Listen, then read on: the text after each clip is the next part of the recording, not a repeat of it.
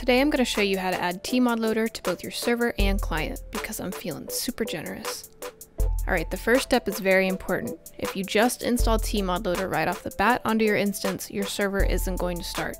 You'll get a mono config not found error. tmodloader doesn't contain the base files necessary to run the server, so first you need to install vanilla Terraria onto the server using the one-click installer and then you can install tmodloader over that using the overwrite install method. Install method. Once that's finished, you'll need to start up the server at least once in order for the necessary files to be created. Okay, you can stop it now. So you're looking for the .local file in the main directory. It should be at the very top. Then you'll go to Share, Terraria, ModLoader, and finally Mods. This is where you'll upload all the tmod files. All the mods should be in the tmod format.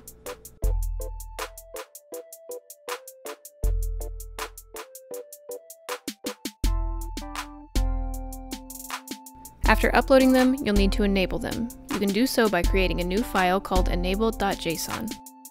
You'll need to type the names of the mods exactly the way they appear when uploaded, minus the .tmod at the end, just like this.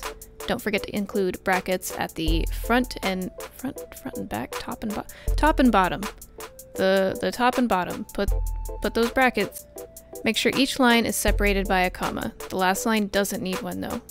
And if you put one there, it's going to give you a syntax error, so you'll know if you hecked up. If you're joining a tmodloader server, you need to have tmodloader installed on your client, as well as all the mods present on the server.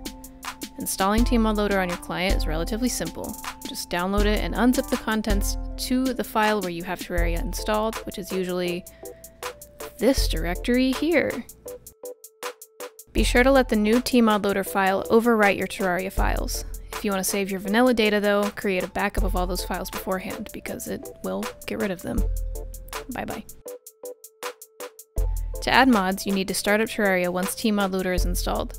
Then you can upload the tmod file into the directory Documents, My Games, Terraria, ModLoader, and then Mods.